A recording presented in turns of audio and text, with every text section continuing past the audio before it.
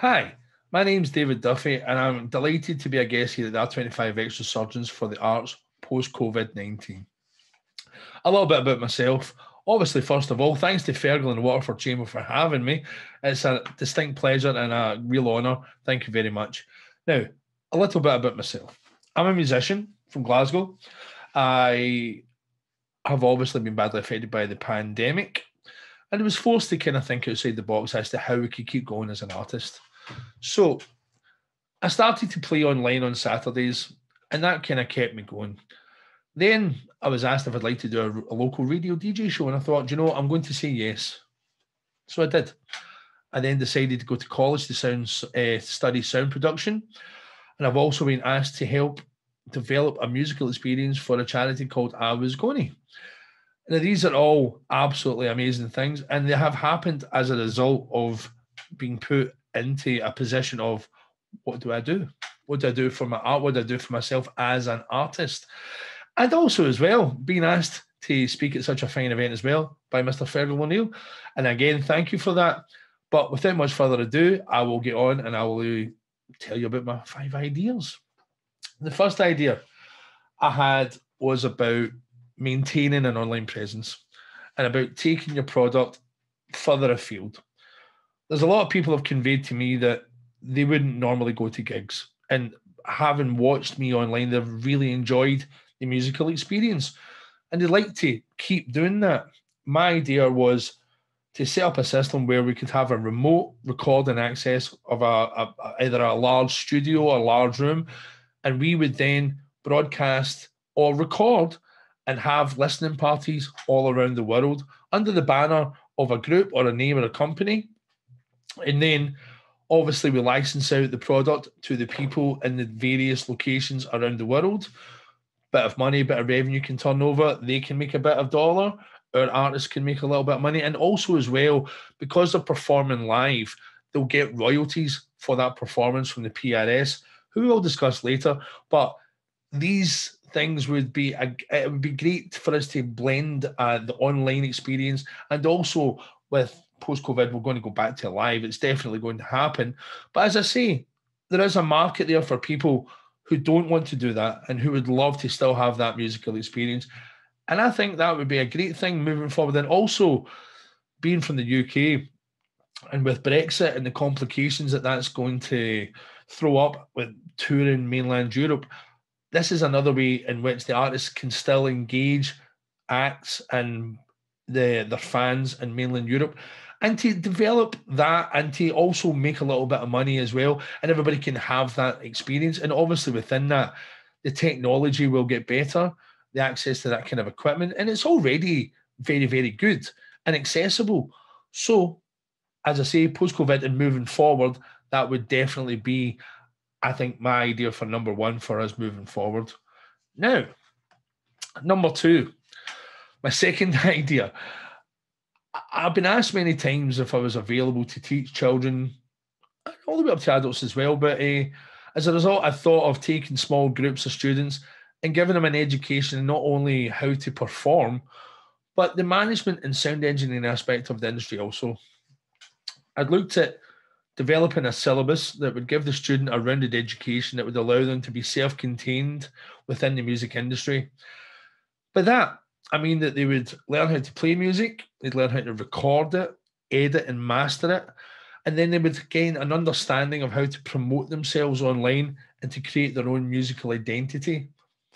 We would also look at the aspects of the industry like collection agencies, how to register, and all the other administrative duties they would need to conduct, setting up their own record labels and being in publishing companies, etc., so that they could make sure that the revenue is generating and they're it's a viable viable job for them. That's a lot of people's problem is the fact of the viability of how to maintain as an artist and make money. Obviously, when you sign record deals, etc., especially with larger companies, they take a lion's share of your money. So, as I say, the education, not just performance based, looking at the industry and starting, as I say, from a rudimentary level all the way up and having it as a supplement to what they're learning at school you know, so they can have that backup knowledge. I hate to say it, but a kind of rock school kind of idea, but obviously a bit more encompassing of a larger part of the industry and, as I say, gearing it towards how they could move forward. Now, for my third idea, I've been involved with a charity called I Was Gonnae. And what we're doing is we're working with people with uh, severe disabilities, mental health issues, learning disabilities. And the creator of the charity, his son is autistic. And uh, he had noticed that when they go to any of these kind of experiences, whether it's music or anything, there's a real sense of euphoria that carries on for a very long time after the performance itself.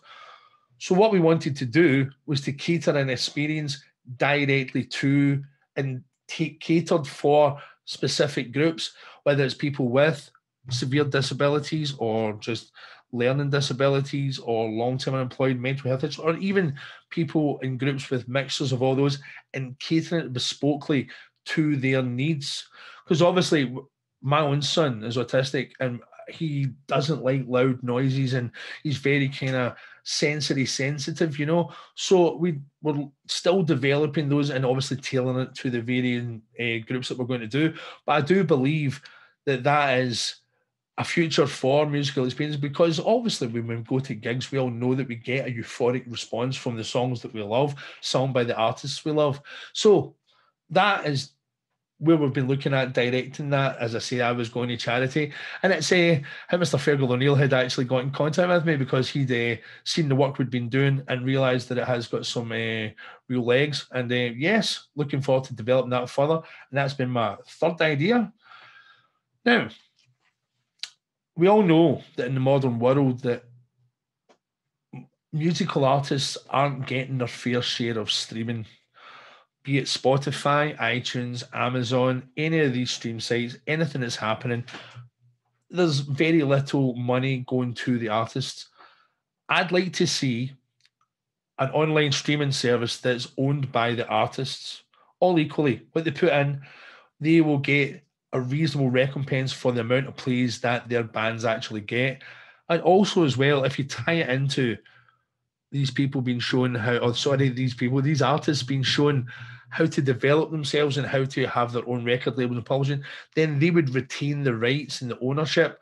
So when putting their music onto these sites, they know that no matter where it's played, how it's streamed, that they will get a reasonable cut and also a cut that means that they can actually have, as I say, a viable shot at making a living within the music industry. And it it can only benefit uh, music lovers as well, because if musicians have that extra money coming in, then they have extra money to develop their own art the way they want without scrutiny from a third party that wants you to write the next Ed Sheeran song or the next Rihanna or Beyonce or whatever song. And any artist, and eh, I'm probably from my Imagine Dragons, who's new, who knows? But that that's what we're looking for, as I say, as a collective society that owns the music, owns the site, and would benefit from that financially. Now, for my fifth idea, with everything that we've discussed thus far, from the lessons all the way through for the charity, I would love to see it culminate in a community event, a local festival, you know, displaying all the arts, you know, dancers, actors, artists, musicians, and all the varying aspects, including the logistics of how to put on an event, the management of an event, tie it in with the children's classes, a kind of like an, end of year project that we're looking at. So they would be learning about the recordings, learning how to produce that and how to, as I say, promote online. And these events can be tied in so that they're promoting that as well as learning, as I say, how to function in the music industry. It's also going to be really, really important for community spirit, I feel. To have that, as I say, collective effort, people, it would bring us back together. People seeing their children dancing, having fun, being educated, but also under supervision of people who are the professionals in the industry so that they're getting a valid education in something that could be extraordinarily tangible for them. My son wants to be a songwriter, and it's I, I, I had absolutely nothing to do with it. I let him come to that uh, come to that conclusion on his own, and he is loving it. So I've been inspired by that and that's what I would like to do is harness that energy. And obviously, with other people's like the young to old, I, I, feel that there's a lot of people when they get to a certain age, they count themselves out of the musical uh, experience completely. Like, oh, I'm too old at this, that, and the next thing. No, not too old. As I say though, fifth idea, big community festival, drawing on all the experiences, linked in with everything else I've been talking about especially the educational part of it, and especially with the younger ones, so that they can be involved and be totally emboldened by it. I was never given an opportunity to do anything like that within the industry when I was that age, and I would have jumped at it. And as I say, I think that that's a, moving forward to develop them from a young age and then taken into the industry as it comes back. Very, very valuable. So those are my five ideas for the Resurgence 25X. Once again, thanks to Fergal O'Neill and the Waterford Chambers for having me along. It's been an absolute blast. I am um, so I think I need to lie down after that. It's, it's quite an experience talking to you all. I look forward to uh, hearing all the other ideas from all the other uh, uh, sorry, the commentators and everybody that's uh, given up all their time to do this. And once again, thank you to Fergal, Waterford Chambers, and uh, I'm David Duffy, and I'll be signing out. Thank you very much for listening. How was that? Good. Time. 12 minutes are under.